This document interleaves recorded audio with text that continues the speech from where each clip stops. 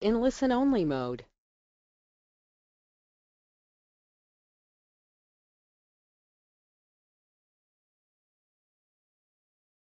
Good afternoon, everyone. My name is Corinne Bonevité, and I'm the marketing manager at ILX Group. Welcome to our webinar of why combining Prince2 and ITIL methodologies. You will receive the replay of this webinar by email tomorrow, but please stay until right the end as we have a special offer for you. If you want to see more of our webinars from our subject matter experts, check our YouTube channel by just typing ILX Prince 2 in the search bar. Now I'm going to pass you over your presenter, Paul Wigzell. Paul is ITIL expert and Prince2 practitioner.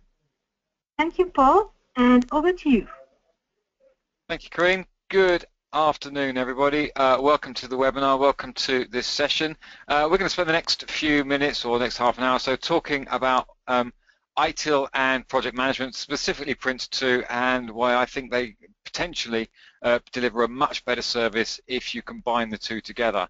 Um, I'm just mindful of the fact that today is um, uh, the 5th of November, uh, and therefore we were thinking back to Guy Fawkes and his unsuccessful attempt to blow up the Houses of Parliament. Uh, some, I'm sure, would argue that this would be a good good for him to come back and, and do that now. However, it, it it is interesting, I think, um, that when you look back and look at history and look how unsuccessful he was and how ultimately he was hung, drawn and quartered, um, it might be a bit of a strain, but but the thought crossed my mind that if he'd actually used project management and service management combined, um, the outcome might have been very different, and our country therefore very different. Um, because when all all is said and done, to blow up the Houses of Parliament and get caught was actually a very unsuccessful project, uh, and therefore we need to think about project management and we need to think about service management and the combination of the two. So let's just touch on a little bit to start with. The first is, uh, the thing I want to highlight straight away is that Prince2 is a methodology and ITIL is a framework. Now Prince2 is all about the seven processes and here we can see the seven processes, the startup, the initiation project IP if you like, controlling a stage, managing stage boundaries, managing product delivery, closing a project and then ongoing throughout the entire project we have directing a project. On the ITIL world, we have a framework, and that consists of, and you'll notice there I put, it's 20 plus processes, um, and they're in five different life cycle phases. Well, they are different, but they are all interconnected. And why there only 20, why do I say there are 20 plus processes rather than being very specific and saying, well, there are seven within Prince2? And that's because it depends which ITIL expert you talk to. Some will tell you there are 20, some will tell you there's 23, some will tell you there's 26, and so on. Because in the ITIL world, a process is where you've got a set of inputs, activities, and then defined output. And there are some processes um, in the ITIL lifecycle which you could argue quite strongly are just a set of activities, uh, and there is no defined output at the, at the um, entrance to those processes. But but it's a moot point and one that one that can be discussed.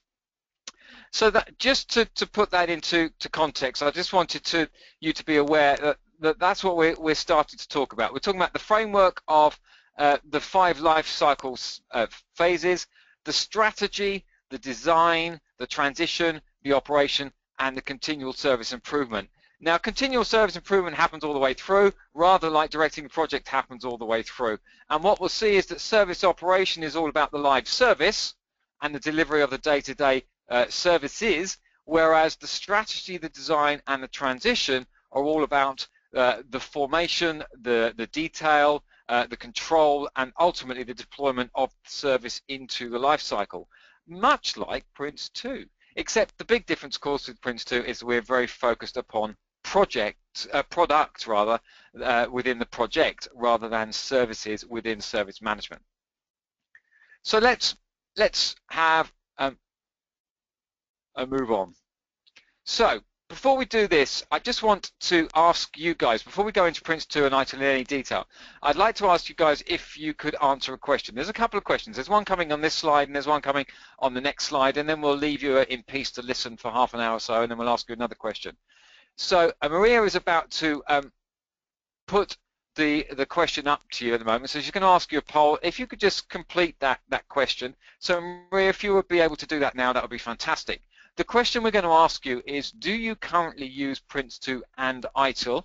The answers you're given are either yes, we use both, uh, no, we don't use either, if you like, yes, just Prince, or yes, just ITIL. It's just a, um, I don't get to see, well, I do get to see the answers ultimately. You'll get to see the answers, and then uh, Maria will text them to me, so I or type them in so I can see the answers. I'm just curious as to whether we've got a Prince 2 bias, an ITIL bias, a bit of a mixture of the uh, of all two, or both of them, um, or where it's a combination of. So if you could answer that question, that would be great.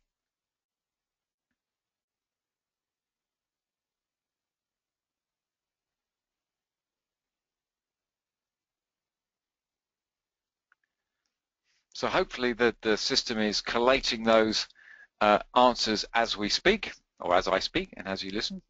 If you could just pop your answers in, that would be absolutely brilliant.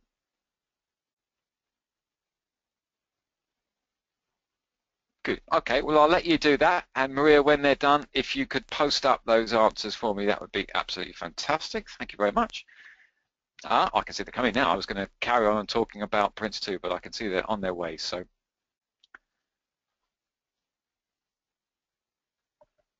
So, all right, so we've got 29% using both, 36% uh, not using either, okay. And now I should be able to do the maths now, but I'm going to be lazy and wait for the result. 19 just Prince 2, and 15 just ITIL. Okay, okay, interesting. So we have a, a, a bit of both, um, but that um, I focus more towards project management and less ITIL. Okay, interesting. Thank you very much for doing that. Uh, I'm going to ask you another question in a moment, so just let's just touch on this slide before. Um, you might have seen this before, and I'm sure you have seen this before. If you're into Prince 2, you definitely have seen this before, where you've got the pre-project phase, if you like, which is in startup, and then you've got the initiation phase, uh, where you're setting your stage boundary, doing the initiation, all the work, putting together the business case, uh, putting together the issue log and the risk log and the quality logs and so on and so forth and the strategies, uh, the communication strategy and the, the, configuration management strategy and all of those good laudable stuff, uh, good laudable things. And then we're into the, the stages and delivering the stages um, and most of all, of course, delivering the product within the stages. So we're talking about teams and we're talking about the project itself, controlling the stages, managing the boundaries, and then ultimately we end up with closing the project in the final delivery stage. Now, traditionally, this is where a lot of people think, well, that's where ITIL gets involved. Now, I'm hoping that I'm going to slightly dissuade you of that being the case. Because if we look at, quick change to my, if we look at this, this is the ITIL life cycle. Now, service operation is all about the managing of the day-to-day -day service. No argument. Nobody can argue that. That's what it does. Service operation is all about the managing of the day-to-day -day services. But you will notice that there is also an area called service strategy. There's one called service design. There's one called service transition. And then there's continual service improvement. Now, I've already said that continual service improvement is happening all the way through, so we can effectively ignore that for now, because that's going on constantly. Service operation is all about the day-to-day -day delivery. So we have this element of service design, service strategy, and service transition. So I'm just going to ask you this other question. So this will be the last poll we do until the end of end of the webinar. So Maria, if you could just please um, put up our second question, because I'm going to ask you uh, ladies and gentlemen who are listening to me, in your view, when does ITIL start and when does Prince 2 end? Does ITIL come before Prince 2? Does Prince 2 pass the project or the product on to ITIL? Are they just totally separate that there's no link between the two? Or should they or do they work simultaneously? So what's your perception at this point in time, please?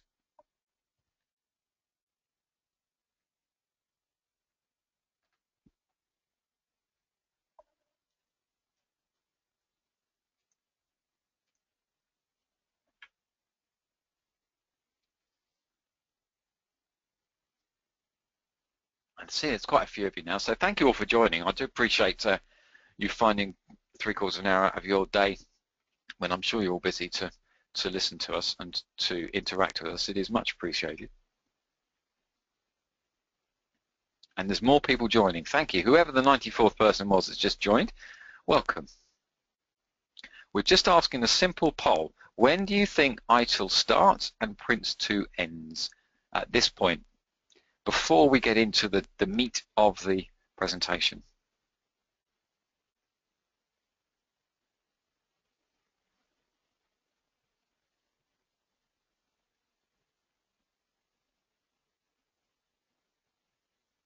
Excellent. So the poll's now closed. So I'm hoping that Maria's just about to put up the um, results for me, just so I can see what your perspective is.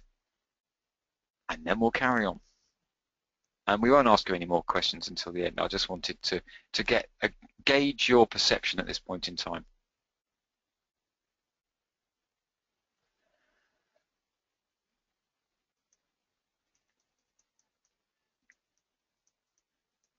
Okay, so 11 percent think ITIL just before Prince.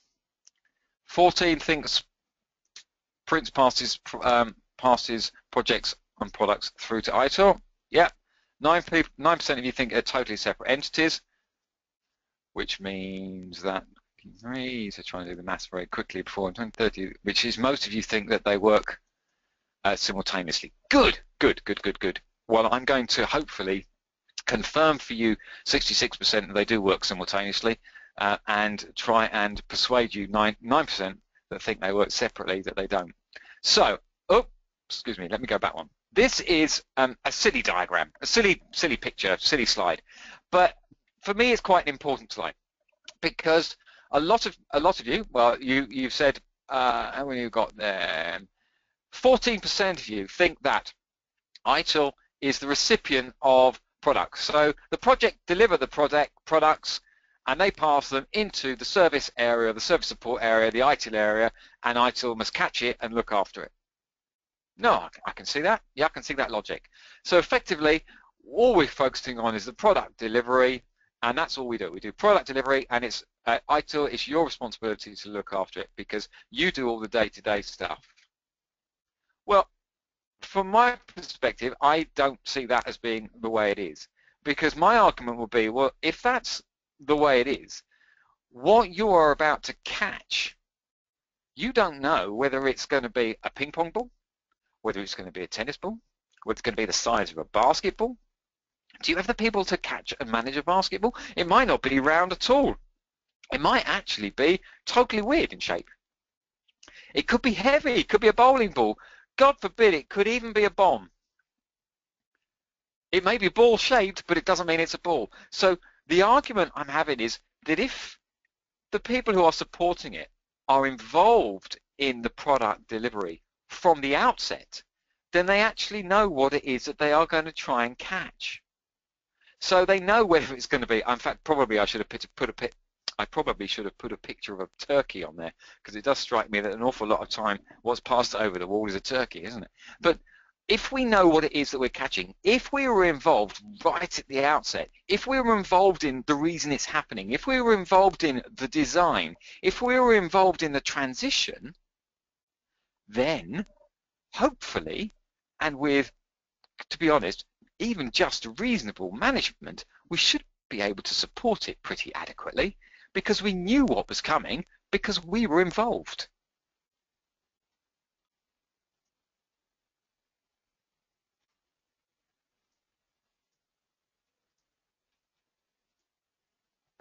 So there are lots of touch points between ITIL and Prince2, and there are a couple, and there is only one, two differences where they slightly contradict one another. But even that's not that major. In the ITIL world, change management is one of the most powerful processes. I always talk about ITIL having five, the five major processes. Five major processes, problem management, incident management, um, uh, then you've got change management, and you've got um, service level management, and, and to a degree, uh, you might argue that there's business relationship management. But the four biggest ones are service level management, change management, incident, and problem. Change management, one of the most powerful powerful. In Prince 2, Obviously, you still have change management because change is part of, uh, is a theme in its own right. Change is one of the seven themes. But in Prince2, change management makes changes to the requirements and the product stored within the configuration management system. So effectively, configuration management is the king or the queen, if you like, and change management works to them as the subject. Whereas in ITIL, change management is the more powerful of the processes and uh, it's underpinned by service asset and configuration management and the information is still stored within the configuration management system. No argument with that but it, so they still have exactly the same premise, if you like, but, but in essence, service asset and configuration management in version 2011 has been slightly downgraded. Um, it used to be on level par with change management. It's now no longer seen as a level par. It activities of change management. So let me get rid of these drawings, otherwise they appear on the next slide. Okay, so there are multiple crossovers, however. So what you do end up with is um, in Prince 2 you have a senior user. The senior user sits on the project board. The senior user also gets involved at the end when the products have been delivered and they become the recipient, the owner, if you like, of the products. Well, ITIL recognizes that. They might talk about services rather than, than products, but effectively they have a role called the service owner. Pretty much the same, responsible for the delivery of the service. Senior user, responsible for utilizing the product. Customer is the same. Customer is a customer is a customer. So the customer in Prince 2 is the same as the customer in ITIL, the person paying for the project, the person paying for the service. We also have in Prince 2 the project executive, the person sitting, if you like, at the top of the project board, the decision maker, the one ultimately decisions uh, are, um, sorry, is ultimately accountable for the decisions, if you like. In the ITIL world, it's a bit less dis distinct than that because they have service strategy. One of the processes within the service strategy is the service portfolio manager. The role of the service portfolio manager is to decide when services should be retired, when services should be developed, ooh, the start of a project, and when services should be transitioned into the live arena, the live, the production environment. So effectively, the, the project exec, in my interpretation, is much the same as the service portfolio manager. The business case is the business case. The big one, if you like, is this done. In the ITIL world, we have what's referred to as the service design package. Now, most of you do Prince. No, you also have the project initiation document. To my mind, they are effectively one of the same things. It's about the business case. It's about what you're actually delivering, the project product deliverable, the product, the project product description. In the ITIL world, the service design package is, is, defined as a collection of documentation containing all information about the business case, what you're going to deliver, how it's going to be delivered, how it needs to be supported. Well, actually, pretty much everything that's in a PID. So when you see the word, or the, the acronym PID, if you're an ITIL bloke or a lady, see service design package. Design package think PID because in reality they are almost one of the same thing. In fact, as I say, I, I would consider them to be the same. In ITIL, we have what's referred to as change evaluation. This is about as close as ITIL ever gets to projects. It talks about understanding what's, what was predicted, understanding the actuals, and making a decision as to whether you should progress any further down the delivery pathway, which is pretty much managing stage boundaries, isn't it? Reporting on what you expected to achieve, reporting on what you did achieve, and asking the project board for permission to continue down the project deliverables. Much the same, I feel, much the same. In Prince 2, we have the follow-on, oh, excuse me, let's go back to where we were. In Prince 2, we have the follow-on um, follow-on um, actions recommendation report. In ITIL, we have the CSI register. Again, a collection of improvement opportunities in the CSI register, in the follow-on action recommendation, a collection of opportunities or activities that should be um, accepted, taken up in order to make the deliverable better. For me, pretty much one of the same thing. We have the project board, the group of people making a decision, but it's actually the project exec that makes a decision. So the project board enable the project exec to make the decision. In ITIL, we have exactly that called the CAB. The change advisor job is to advise the change authority whether, the, whether that should go ahead or not. Now, from a change management perspective, and just to be a bit ital for a second, this is usually considered around um, the production environment. But there is no reason why the service portfolio manager and the change authority couldn't be one of the same person. So the project executive uses the project board in the same way that the change authority uses the change advisory board. And the service portfolio management would use his fellow strategy, uh, sorry, his fellow strategic thinkers.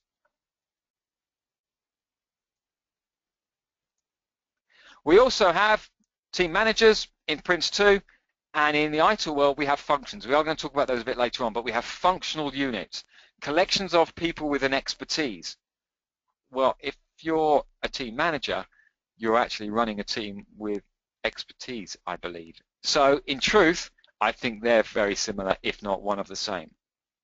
And then lastly, we've got the configuration librarian. In ITIL, we have a configuration librarian. In Prince, we have a configuration librarian.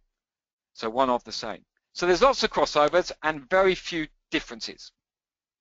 So I wanted to try and give a real world example of, of how I see the fact that the two working together. Now, we could have done an IT project, but that seemed a bit silly because we all have different experiences of IT and we all have different um, uh, knowledge around IT. So I thought I'd try and do something that's slightly um, off the wall, but slightly um, common sense, if you like. So what I thought is, let's imagine we're doing a building project. So our job is to build, or our project is to build 250 houses in the south of England. I thought we'd go in the south of England because if we're in the north of England, everyone thinks that it's nothing but building in the south of England, and if you're in the south of England, you pretty much think the world revolves around the south of England. So I thought it would meet everybody's expectation. If you're offended by that, I apologise. I meant it purely as tongue-in-cheek. So we're in a building project de delivering 250 houses to the in the south of England. We've got the design, we've got the architect plans, and we've even got a contractor ready to start the build. So we've gone through IP. We're, we're beyond initiating the project, or we're at the point of initiating the project. Project. We're waiting for authorization to go to, to stage two, if you prefer. However, just before we get to that point, we should be thinking about um, well, what happens to the build site once it's finished? And and who's going to look after that site then? In fact, just as important, who's going to look after the site during the build? Because it's going to be built in stages. It's not all going to be built at the same time. So who's going to look after the site whilst we're building it? Who's going to maintain the site once we've left? Who's going to do all that support, all that guarantee, the snaggings list and all that? So who's going to do that? And actually, who's going to support and maintain the site whilst we're using it, whilst it's being built on. And who's going to take control of the day-to-day -day activities? And actually, most importantly, when will they take control? Will they take control when all 250 houses are finished? I would suggest not. I would suggest that perhaps they will take control as each tranche is released for sale. So after each 10 or each 20 or whatever it happens to be, someone, some team, somebody's got to look after the new homes, the roads and the utilities as the other stages of the project are being delivered. So if you think about it, we've got the project to actually deliver the houses, but we've also got the support, the maintenance and the control of the day-to-day -day of the houses that are being built. And as I say, we don't start the project and then throw 250 houses over the wall because let's face it, the developer would have gone out of business by then. They want to sell as they are going. Because if they can sell, okay, they want to sell from the plot, but if not, they want to sell the finished houses. They want people to be moving in and living in the houses. So they want to release that capital as they're going. So the project management and the service management and the service management happen simultaneously. So we've got a clear idea of what's being built. We're going to build 250 houses. So therefore, we've got a clear product description. 250 houses. We've got the acceptance criteria. They've got to they've got to have roofs. They've got to be safe. They've got to be um, complete. They've got to be you know, draft proof and, and, and to the to the customer's criteria. We've got a business case. We want to make some money, obviously. We've got a budget we've got to work to. And in our ITIL world, we have what's referred to as the service charter. This is what goes into service design. What is in service design is the architect's plans and, and, who's going to be building them ready to start. Now we've already said we've got the design, the architect's plans and the contract ready to start. So effectively we've created the PID or the service design package. Now you guys who use project management know that the PID isn't finished until the end of the project because we add to it and we review it and we amend it as we're going. It's exactly the same from the service design package. So until it's actually live, until all the problems are being ironed out, until we've uh, made sure that it's signed off, the service design package can, till, can still be added to. Now this is done by your project manager, if you're in Prince2, or in the ITIL world, by a process referred to as design coordination. Their job is to make sure all of the design activities come together in the same way as the project manager's responsibility is to make sure that all of the, the activities to deliver the products, products for that stage are completed.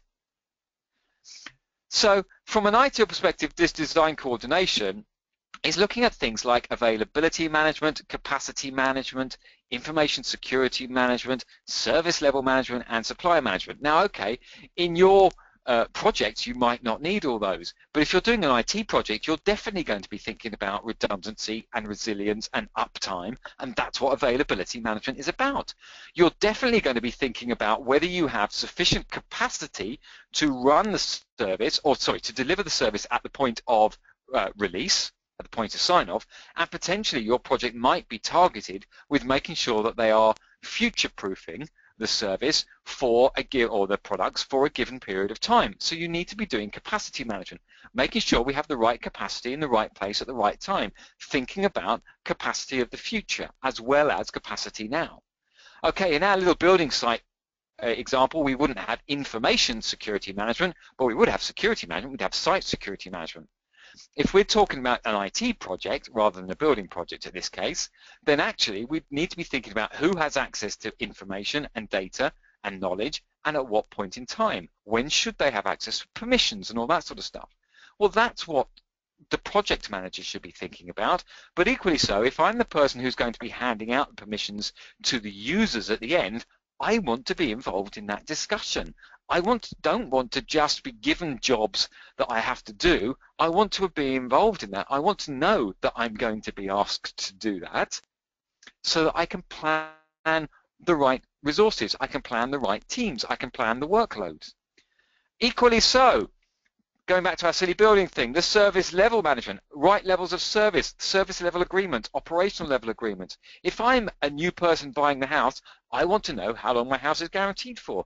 I want to know that the roads are going to be kept clean. I want to know that the um, utilities are going to be connected and the utilities are going to work and, and how quickly it gets fixed. We've all been, I'm sure, in that situation if you have ever lived in a new, new um, a new build where you have problems and, and, and maybe I'm wrong here, maybe, but certainly it's been my experience where you then try and order something online and your postcode doesn't exist. And everything relies on all our deliveries rely on postcodes these days. And it's that sort of stuff that service level management will get involved with, as well as supply management. I mean, if the utilities are being delivered, let's say our broadband or whatever is being provided by Virgin, or it's being, or cables provided by Virgin, or the infrastructure is being provided by BT or whatever, we need to make sure that when our buyers buy their houses that the suppliers have actually delivered the right level of service. Now that's part of the project, of course it is. But it's also part of service management because you're going to have to manage the suppliers day on day. So we should get involved at the design areas, at the design stage, so that we can meet, we can get to know the suppliers, we can understand how the suppliers work, they can understand how we work. If we get involved right at the start, then there's really very little excuse at all as to why we can't get involved, uh, sorry, we can't actually deliver it on a day-to-day -day basis in service operation because we already knew what was coming down the pipeline, we already knew what was going to be thrown over the wall because we were involved in those discussions. So having that service management view should mean that not only it makes our project better, but actually it makes it far easier for our projects as well. So we talked here about as each as once each stage completes, a review takes place. We look at the business case, we look at the risk log. Of course you do in, in um, in Prince2, and in service management we have change evaluation. As I've already mentioned, it's the only time that ITIL ever really talks about projects. Would I would I suggest they are the same as um, managing the stage boundary with a project board? Well, I'm afraid I would. I think they are. Information and actuals, irrespective of whether you're in Prince2 or in ITIL, are stored in the configuration management system, the CMS. One of the same things. The design, the architects and contractors was ready to start. We've already known that. We've created our PID. We've created our uh, service design package, one of the same things. It's then passed through in our ITIL world into change management who build it and deliver it and test it as part of transition. Or of course in Prince2, that's the project manager delivering uh, team plans to our team managers. Well, change management is doing much the same thing. Change management doesn't do it. Change management effectively takes on the role of project management at this case. So in reality, they can be, again, one of the same person, or one of the same people, or one of the same group. They use, in ITIL world, release and deployment to do the building, the testing, and the validation. Well, Prince2 uses our team managers, uses our teams the output is put into the configuration management system. The output is put into the configuration management system. So it's effectively all doing the same thing. So I don't expect you need to do both because you are doing both simultaneously. So we won't need to say, well, you can be the change man, you can be the change manager, and you can be the project manager, and you can be the change authority, because one person could do the whole lot. I just put a slight um, caveat down the bottom here where you've got the service design package. I've got unless errors are detected and corrections need to be made.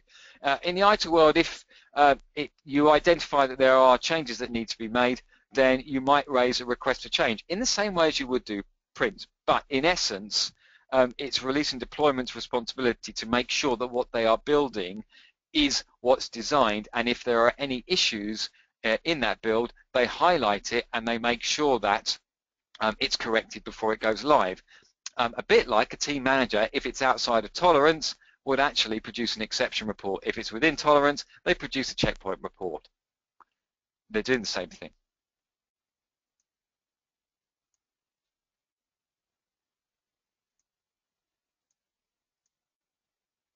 So, products is being built and tested, and under Prince2, as I say, it's under the control of Project Board or if we need to go, take, go further uh, above that, if you like, we've also got the corporate management. So under the DP process, um, we can we can get ad hoc advice at any point in time. In the ITIL world, it's slightly different, but not massively so, because they have functional units. People who are experts in the infrastructure, technical management, people who are um, experts in the application management. Now that's going to be software in the IT world, software and, and usability. If we're talking about um, the um, building example, then the technical management would obviously be the structural engineers. You might might refer to those as the bricklayers, and you know the people that understand how many roof trusses we need to build a roof, how many um, you know how we're going to actually put the the slates and the tiles on the roof.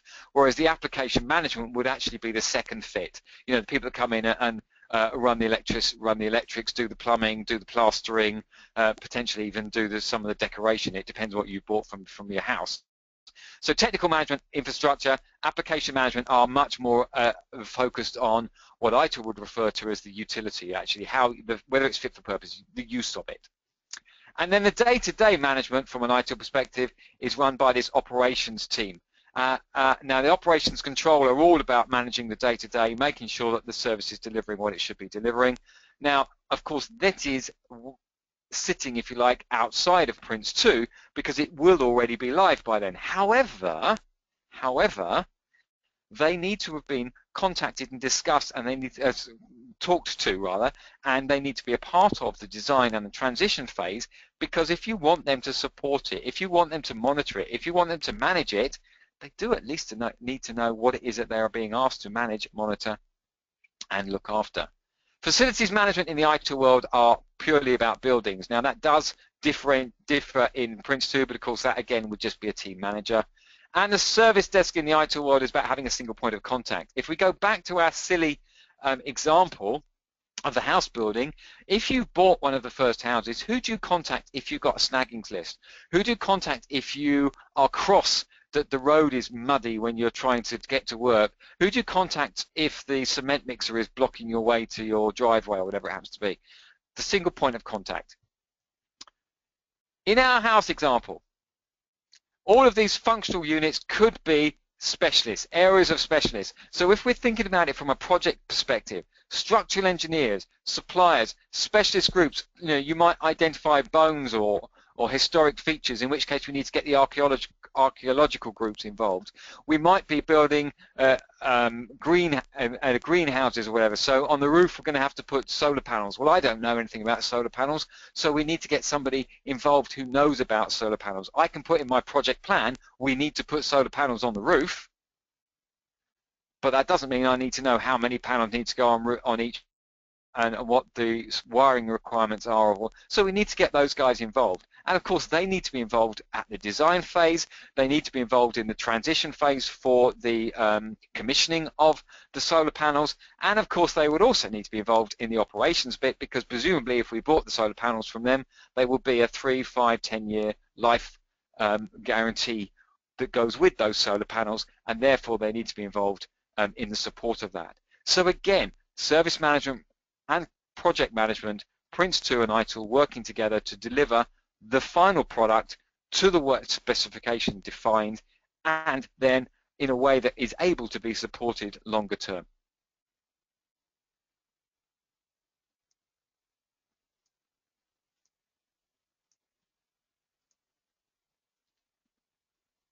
So, as we've already mentioned, and as I've already mentioned, what happens if some of the build is finished, but not all of it is, been, is finished? Well, in ITIL, we're using release and deployment. In, in Prince2, you're using the project, the team, the teams. Yeah. At some point, we have what ITIL refers to this as early life support. You know that bit in the project where, well, you've kind of finished, but you haven't finished. You finished some of it.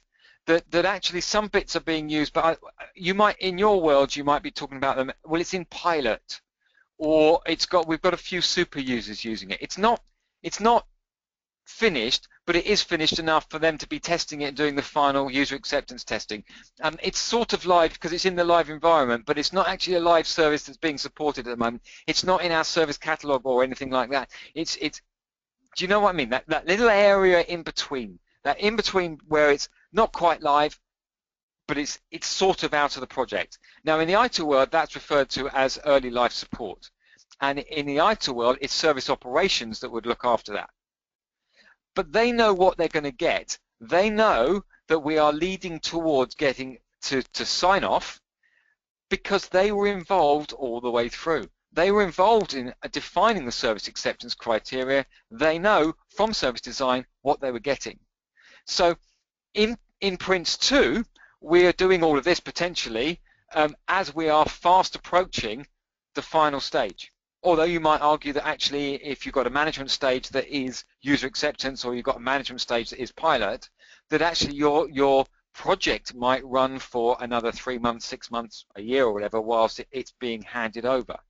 My argument would be at that point, why? Why are you using that expensive project resource to do that? Surely we could be passing that into service management at that point in time.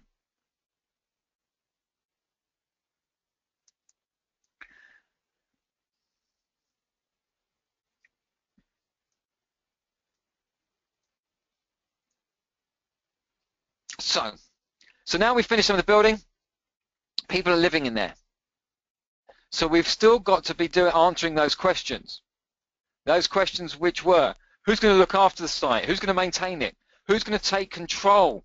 Who's going to get, you know, who's going to look after it day to day? And this is without doubt where the balance tilts more towards ITIL and further from Prince. So Prince 2 starts to back off as the project is coming to its end. As we enter the close, uh, the closure, the, you know, the final stage, and we're moving towards closure of the project, then ITIL definitely steps up because in the ITIL world, we have this service operation, the bit that actually looks after the day-to-day, -day, and Prince doesn't have that.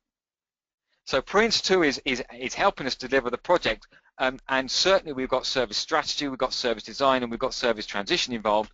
Service operation though is very much about day-to-day, -day, very much about ITIL. However, again, if we haven't been involved in the design, in the transition, in the strategy, we go back to that picture of the man catching the ball. We don't know whether it's going to be a bowling ball. We don't know whether it's going to be a tennis ball or a, a, a ping pong ball or whether it's going to be the bomb. We should do because if we've been involved all the way through, then we would have a very clear understanding of exactly what's being delivered and therefore we can underpin the fact that both project management, Prince2, and service management, ITIL, are all about delivering the business value. If we're not delivering value to the customers, then from an ITIL perspective, we say, what the hell are we doing it for? From a Prince2 perspective, if we're not even close to delivering value to the customers, then why are we continuing with the project? Let's end the project early. Or close to use the right the right um, phraseology. So, nothing happens perfectly, nothing ever goes right, doesn't matter how well you run a project, it's never going to be perfect. Well, if it is, I take my hat off to you.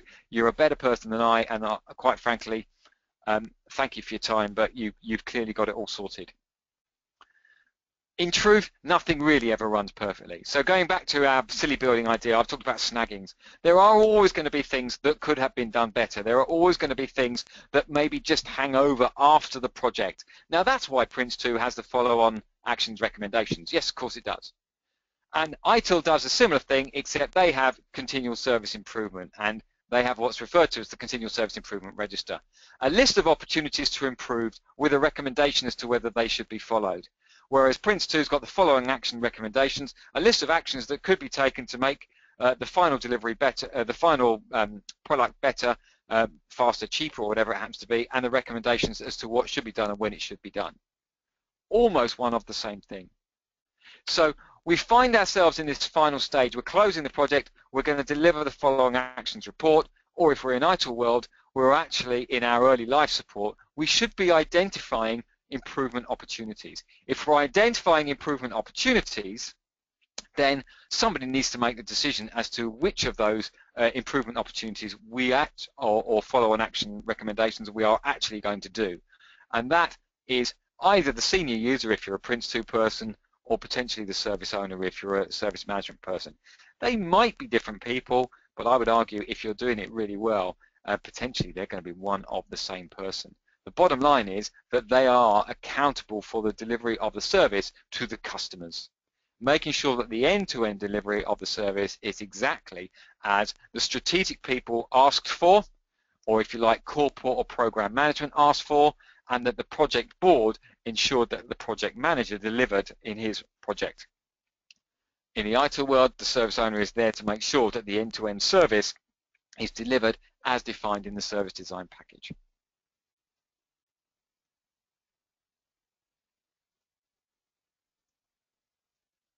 So, both ITIL and Prince have a very, very heavy focus upon value and what value is, and the value to deliver the services to the customers. In Prince2, there's a review of quality each stage boundary. In ITIL, you're doing it as part of continual service improvement all the time. So in ITIL, you're talking about doing it at each stage. Oh, well, actually, that's what Prince2 says. At each stage, isn't it? Uh, you look at each checkpoint and highlight a point and say, this is what we could do better. This is what we could have done faster. This is what we could have done cheaper. These are the lessons we've learned. This is what we did well. Are these not the same? Because ultimately what we're trying to get to is going from something that's just kind of highly commended to actually being the winner, the, the best we can be, the best of breed. So just before I finish, because I do appreciate that we, we're three quarters of an hour done now, just before I finish, could you do me a favour and and just just see and please don't don't feel that you're in any way being uh, manipulated to do this. I just want to ask the question that we asked you right at the start again. So in your view, when does ITIL start and when does Prince end? Could you, Maria, if you could put that poll up again, please, could you just ask um, question three now, which is the same as question two. I just want to be aware of the, the hundred or so people that have listened to me for the last half an hour or so. Has your perception changed? Has has have we now got a point where you, more of you think? And, and please be honest, if you do, if you don't think it has changed at all, put exactly the same answer. But I just just as an aside, I'd be interested to see whether things have changed.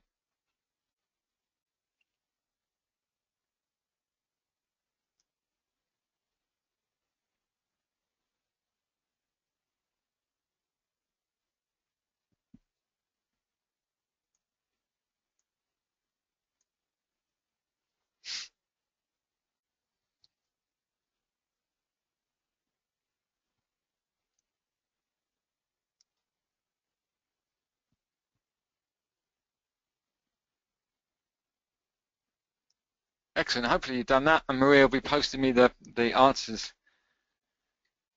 imminently if she hasn't already done so.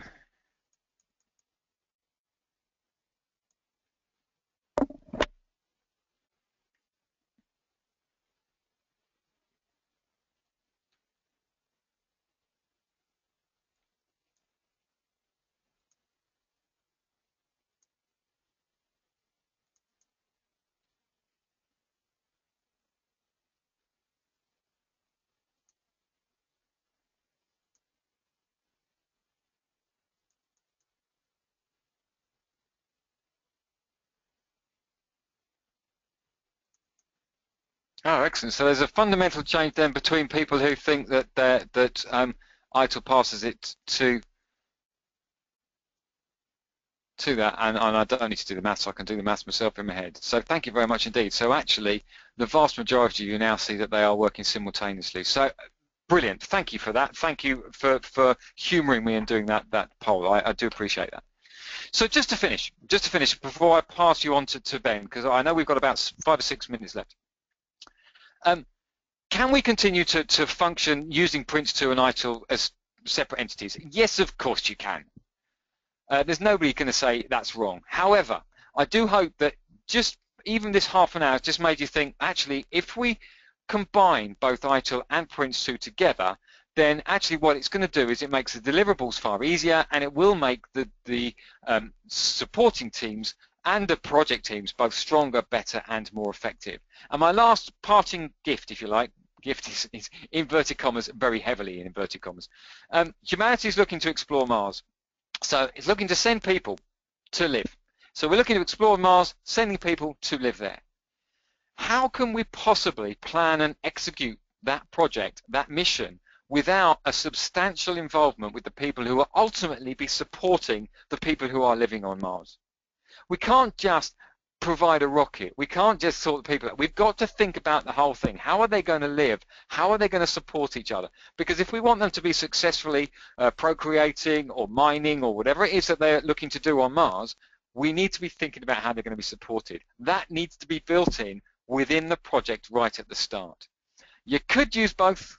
You could use both uh, process, uh, the methodology and the framework separately, both approaches separately, but if you use them both together, the chances of success increase massively. And we should be very successful in that mission. So thank you very much indeed for listening to me. Um, I'm going to stop at this point, but I am going to ask you if you have any questions could you just jot down the questions, put the questions in the chat box? Whilst I'm doing that, and I appreciate I'm a bit short of time, so my apologies to Ben up front because I've stolen some of his time, so, so apologies, Ben. Ben, my colleague from ILX, is just going to talk to you because we do have some uh, course information for you, uh, and I believe he's even got a, a special offer to, to offer to you guys who have taken the time to spend uh, 45 minutes with us. So if there are any questions, please feel free to put in the chat box. Maria will collate those and we can come back and discuss those afterwards um, if you have any. Um, in the meantime, Ben, I'm handing the baton over to you, sir. Please feel free to uh, take it from me and speak whenever you choose. Paul, thank you very much for the uh, very interesting presentation. I'll, I'll, let you off for stealing a couple of my minutes. You may well know, I, I like to talk quite a lot about Prince2 and ITIL. Um, it was a genuinely interesting presentation, and uh, as Paul mentioned there, we actually have some, uh, not only some uh, course information just coming up on the next slide, but also a very special offer which we have running um, for the next kind of 24 hours or so. Um, to start with, uh, we went through a poll at the beginning, um, and it looks like the majority of people on the uh, on the webinar are looking at either Prince2 or ITIL or, or kind of a combination of the two. And from that, we actually have a variety of options that you can become um, certified in both the methodology and the framework at the same time. Um, so if we could go on to the next slide.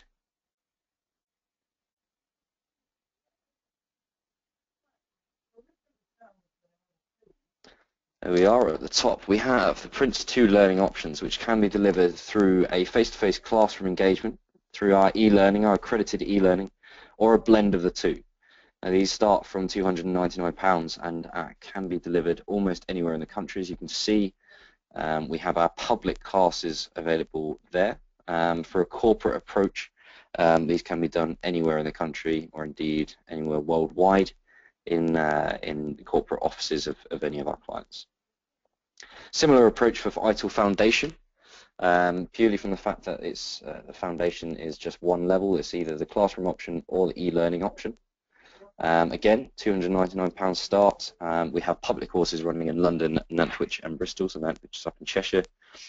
And then for the ITIL kind of higher levels, um, well, variety of the higher levels, either through the life cycle or capability pathways, as well as the managing across the life cycle, the prices start from £1,040.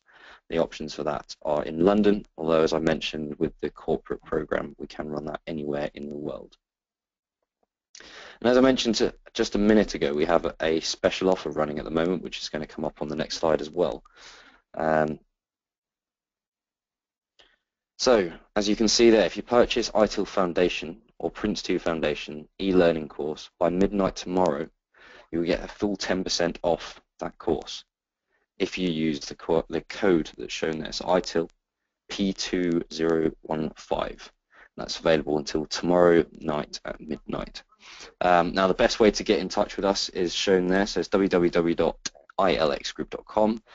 Uh, telephone number is 01270 611 600 or for either of the different types of inquiries you have, either myself or my colleague Nadia's email address at the bottom there for you. So it's Nadia Yahya or myself, Ben Green, if you're a corporate inquiry, if you're looking for an organizational requirement. I'd be more than happy to have a quick chat with you and, and work out the best way to work it out for you. Um, and with that said, very, very brief introduction into the ways in which you can become certified. Hopefully the questions have come flooding in and, uh, and I'm going to pass it back over to Maria and Paul, who will then be able to address some of those questions that I'm sure have um, appeared. Excellent. Thank you very much indeed, Ben. Um, yes, uh, I suppose I ought to be, be and go back to the, the any questions slide. Uh, we've had a question and, and, a comment come through, and I think um, but question's easy and, and the comment's a fair one. Uh, the comment's coming, although the project board and the CAB are similar. Project boards still have much influence and executive buy-in. Uh, and I don't know whether there was anything more more on that message, but but I, I wouldn't disagree with you, except I would say um, it very much depends to what level you have CAB and where CAB is.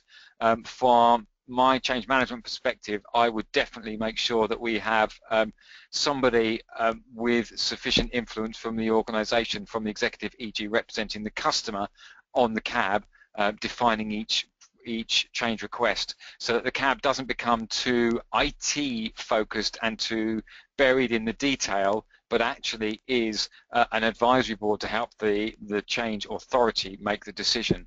And, and effectively the CAB could work at um, an executive level, at a senior board level, at a steering group level, um, as well as the day-to-day -day detail level. So um, it's a very fair point and I wouldn't argue with, with what you put there.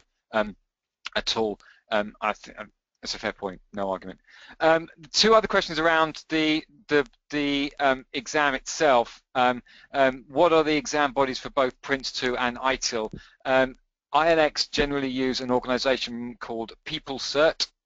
Um, PeopleCert is, uh, I have to say, an is a very fast and upcoming um, exam body, very efficient, um, get really good, quick results, good, clean papers. I've, I've used them many, many times and we've never had an issue at all. They're very easy to approach. But that's not to say that there are, they are the only exam body. There are a number of other exam bodies that will offer both Um, as I say, ILX generally use PeopleCert, but there are um, APMG is the um, other exam body that most people know because APMG used to have um, total control over um, ITIL and Prince2 and all of the exams and stuff um, before um, Axelos took over control of it. Um, so APMG may see um, some of their control uh, diminish, but APMG are still probably a, a major player in, in, relation to the exam bodies. And there are others too. There is exam bodies called um, EXIN and Loyalist, and there are a number of others. But, but fundamentally, ILX use PeopleCert.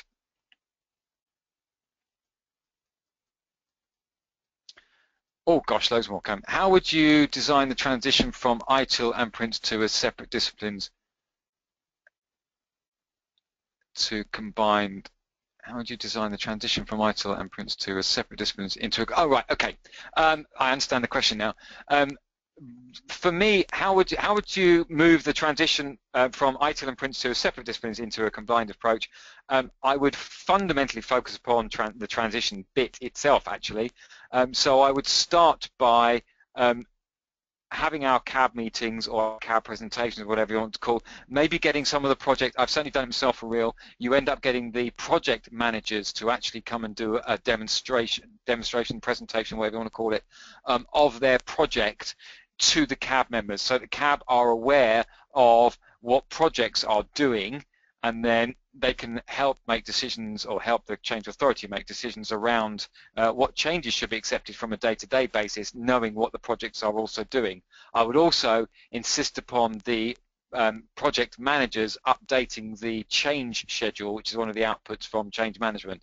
So I would definitely do that. I would also be very resistant, if I'm honest, as to um, allowing senior users to be um, identified who weren't part of the, the, the, service management area. So I would try, if you haven't got it now, to, I would be trying to influence the choice of, serv of senior user as being more and more um, um, service management orientated. Bearing in mind, of course, that you don't have to have one, you could have multiple, and even if your service management um, activities are outsourced, we could still have those as senior users or even just use them as project assurance. So I would start I would start by using the pivot point um, um, in um, transition. Um, how do you register for foundation exams uh, for courses? You just need to talk to your account managers at ILX and they will work with you. Are there multiple bodies for which to select? Uh, are, there are multiple bodies which one to select for the foundation exam. Um, the bottom line is that they all provide the same exam that APMG currently ho hold. So PeopleCert, Loyalist, um, and all of those um, actually book their exams, as it were, through APMG. So, or sorry, book's the wrong word. License their exams through APMG. So they are all of the same. So there is no easier foundation exam or harder ex foundation exam because effectively they are all using the same exams. I think that probably covers all of the questions that people have asked. So I hope that I have done that and I hope that I've done it in the one minute. So thank you very, very much indeed for your attendance. Um, thank you all for your time. Um, if um, I have the pleasure of meeting any of you at either a Prince2 course or a ITIL course, um, then that will be my pleasure. So thank you guys and ladies. Thank you very much for taking the time to, to spend with us. Um, I hope that you take um, advantage of the offer and we'll see you in an ILX delivered training course in the very, very near future. Thanks very much indeed. Um, I will sign off now and wish you a very good day.